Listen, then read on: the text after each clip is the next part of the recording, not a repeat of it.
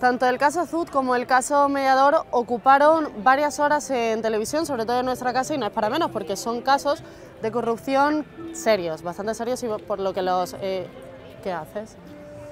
No, es que esto que estábamos hablando del PSOE me ha recordado a una película del oeste de Clint Eastwood que se llamaba El bueno, el feo y el malo.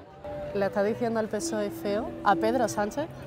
Es verdad, quizá ahí me he colado. Pero sí había un debate, al menos en El Gato al Agua y con José Javier Esparza, con respecto a si el PSOE había sido bueno o en efecto era malo.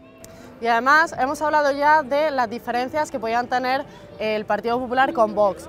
Pero la diferencia del PP con el PSOE, porque hay mucha gente que dice que no hay tantas en realidad. Pero ¿y si las hay? Esa es la cuestión. Que el señor Sánchez probablemente formará gobierno y lo formará con gente que para mí no es de fiar, que no quiere a España, gente que quiere destruir España. Es exactamente es distinto, ¿eh? Una no, no, no, no, no, Otra, activamente destruir No, no, cuando, cuando yo pacto con alguien que quiere destruir algo, soy cómplice de la destrucción yo creo, se consuma. Yo, creo que no es cómplice, creo que es promotor. Y creo que es tan, promotor como... Pues acepto la mayor, que es, para Miguel, que es que Miguel está la transición de un tema a otro. Creo que es tan promotor como Zapatero.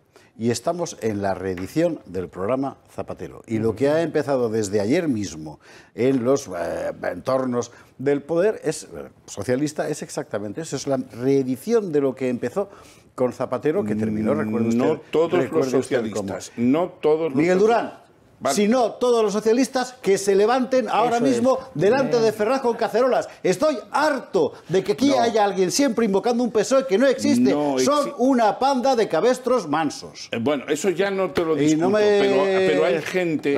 Si no lo discutes, vamos al vídeo. No te lo discuto, por más que seas eh, tan altisonante. Yo no te lo discuto. Altisonante no es que le va la voz, porque... Eh, ya, como Júpiter, tonante. ¿eh?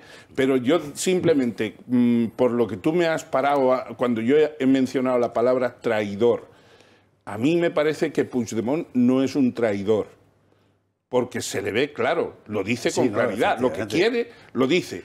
Ahora, el que se sirve de Puigdemont, o el que se sirva de Puigdemont sabiendo lo que Puigdemont quiere, ese sí es un traidor. No, pero Miguel, no te he parado porque dijeras traidor. Te he parado viendo la escalada porque intuía cuál iba a ser no, yo no, insultar no, ¿eh? Yo insultar no le voy a insultar. Bueno, la palabra traidor es traidor político, ¿eh? El plan, el plan, el plan Zapatero que es la cuestión. Yo que querría ponerlo en una perspectiva. Por eso me ha enfadado tanto lo de la alusión del Partido Socialista, porque desde el año 2004 el PSOE está solo en eso.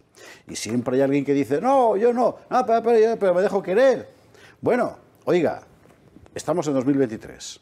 El año 2004 hubo un cambio, empezó antes, pero en fin, un cambio fundamental. El Partido Socialista dejó de ser eso que fijó tan tontamente llama un partido de Estado para convertirse en otra cosa.